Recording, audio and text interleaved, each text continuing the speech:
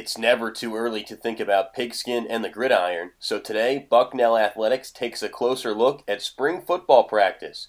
The Bison are working on the basics while challenging each other. Spring ball is going well. Uh, we always want to emphasize our big three, so we want to emphasize getting the fundamentals down and these guys just competing and learning their technique. Coach King has been emphasizing to his squad how vital special teams are. Our favorite special teams drill is basically just seeing those guys competing, putting them in a one-on-one situation or uh, three on three, see who's going to compete, and try to get the juices flowing across the board. Prolific punter Alex Pechin was last year's Patriot League Scholar Athlete of the Year.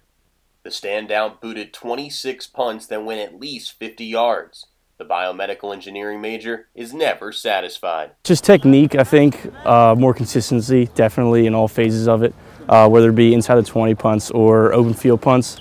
Um, also, again, you could always improve on power too. The orange and blue will continue to grind it out at Christy Mathewson Memorial Stadium over the next couple weeks in anticipation for the team's annual spring game on Sunday, April 22nd at 1 p.m. For updates throughout the month, continue to log on to bucknellbison.com.